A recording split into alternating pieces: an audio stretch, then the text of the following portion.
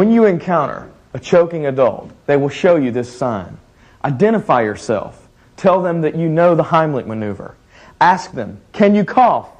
Can you speak? If the victim can cough or speak, do not perform the Heimlich maneuver or pat them on the back. Encourage them to cough instead.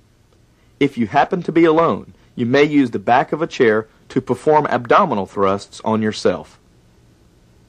If the person is a female, ask her, Are you pregnant? We do the Heimlich maneuver by finding hand placement. Simply find the top of the pelvis, which is approximately where the belly button is. Put your foot between theirs. Slide one hand around with your thumb towards their belly button at the pelvic line.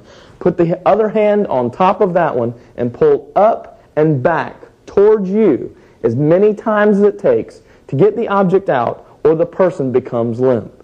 These will be very violent and they will look like this towards you as many times as it takes.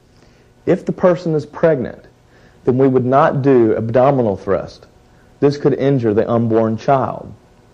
What we would do is we would find hand placement by putting our fingers at the base of the sternum, the exact same place that we do when we do CPR.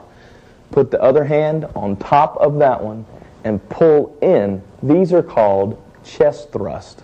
We do this until the object comes out or the person becomes limp. We could do this exact same type of chest thrust if the person was so obese we were unable to reach around their belly. If the person goes limp in your arms, with your leg between theirs, guide them to the floor. Once you safely get the adult to the floor, shake and shout. If there's no response in the adult, immediately go and dial 911 or your local emergency number. Remember, 80% of the adults that collapse need to be electrically stimulated. When you return to the victim, remember your ABCs. A is airway. We open the airway using the head tilt, chin lift. If you do not hear, see, or feel any breathing, which is B, then give the person two breaths. The first breath does not go in, reposition the head by going back to its neutral position and redoing the head tilt, chin lift. This will remove the tongue from the back of the throat. Remember, the tongue is the most common cause of airway obstruction. If the second attempt to ventilate does not produce chest rise, then you can safely assume that the airway is still obstructed. It would be inappropriate to try and do the Heimlich maneuver again. So we would do what is called abdominal thrust. By getting astride the victim's thighs, put the heel of one hand at approximately their belly button or pelvic line. Put the other hand on top of that one. And in the unconscious person, give five abdominal thrusts towards the nose.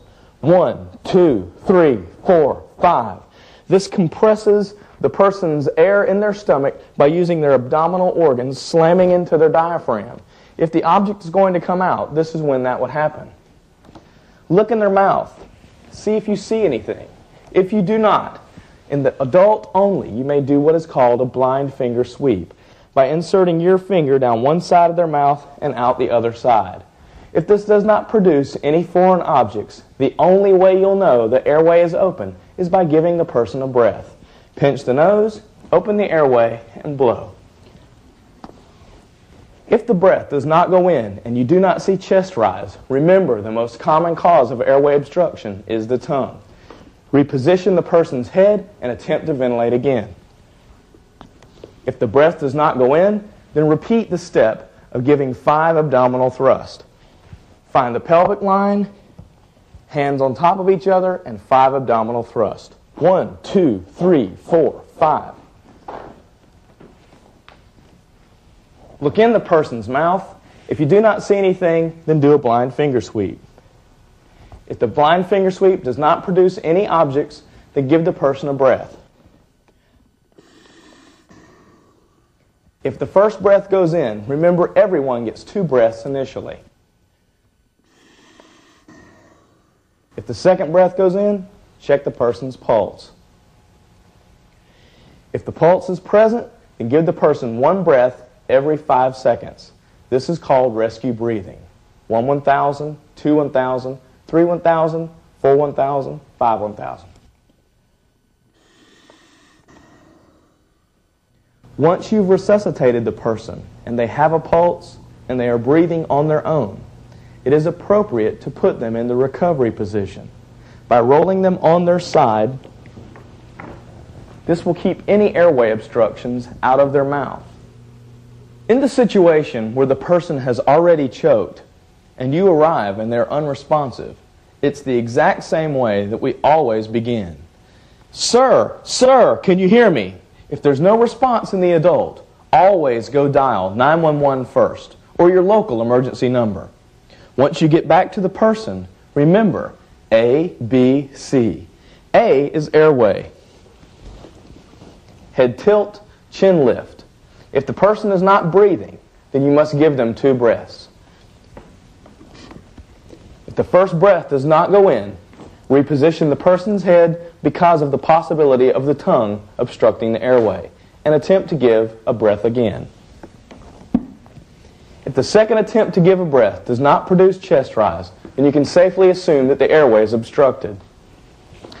Get astride the person's thighs, find the pelvic line, put the heel of one hand at approximately the belly button, put the other hand on top of that one, and forcefully, towards the nose, give five abdominal thrusts. One, two, three, four, five. Go up to the mouth and see if you see anything. If you do not, in the adult only, you may do what is called a blind finger sweep. In one side, out the other. If it does not produce any foreign objects, the only way you'll know that the airway is open is by giving them a breath.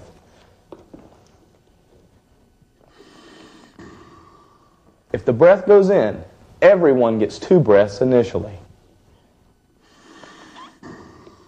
Once both breaths go in, reassess the pulse. If you do not feel a pulse, then you must begin chest compressions.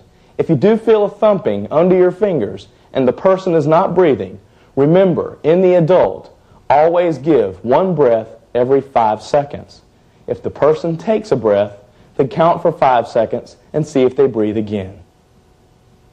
Once you've resuscitated the person and they have a pulse and they are breathing on their own, it is appropriate to put them in the recovery position.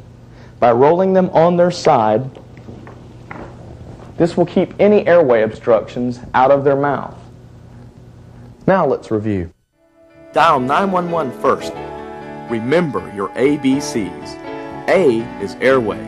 Open the airway using the head tilt, chin lift. B is breathing. Look, listen, and feel for breathing. If the person is not breathing, pinch the nose and give two breaths. C is circulation. In the adult, check the pulse in the neck. If there is no pulse, give 15 compressions using two hands and compressing 2 inches deep. Then give two breaths. Reassess the pulse and breathing every minute. Thank you for your attention.